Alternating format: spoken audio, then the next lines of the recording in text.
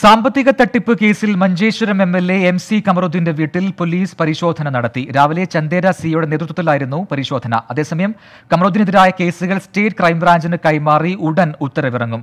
മുസ്ലിം league സംസ്ഥാന നേതൃത്വം M C കമറുദ്ദീനോട് വിശദീകരണം തേടിയിട്ടുണ്ട്. രാവിലെ പത്ത് മണിയോടെയാണ് എം സി കമറുദ്ദീന്റെ തൃക്കരിപ്പൂർ എടച്ചാക്കൈ വീട്ടിൽ ചന്ദേര സിയുടെ നേതൃത്വത്തിൽ പരിശോധന നടത്തിയത്. ഈ സമയം എം എൽ എ വീട്ടിലുണ്ടായിരുന്നില്ല. പരിശോധനയിൽ രേഖകളും കണ്ടെത്തിയില്ല. എന്നാൽ ജ്വല്ലറി മാനേജിംഗ് ഡയറക്ടറായ ടി കെ പൂക്കോയ് തങ്ങളുടെ വീട്ടിൽ പോലീസ് ഒരു മണിക്കൂറോളം പരിശോധന നടത്തി. തങ്ങൾ സ്ഥലത്തുണ്ടായിരുന്നില്ലെങ്കിലും വീട്ടിൽ നിന്നും ചില രേഖകൾ പോലീസ് പിടിച്ചെടുത്തു. ചന്ദേര പോലീസിൽ രജിസ്റ്റർ ചെയ്ത പന്ത്രണ്ട് കേസുകളിൽ ഏഴു കേസുകളാണ് നിലവിൽ ജില്ലാ ക്രൈംബ്രാഞ്ചിന് കൈമാറിയത്. ബാക്കിയുള്ള അഞ്ച് കേസുകളിലാണ് പോലീസ് അന്വേഷണം. പ്രാഥമിക പരിശോധന നടത്തി മുഴുവൻ കേസുകളും ക്രൈംബ്രാഞ്ചിന് കൈമാറും.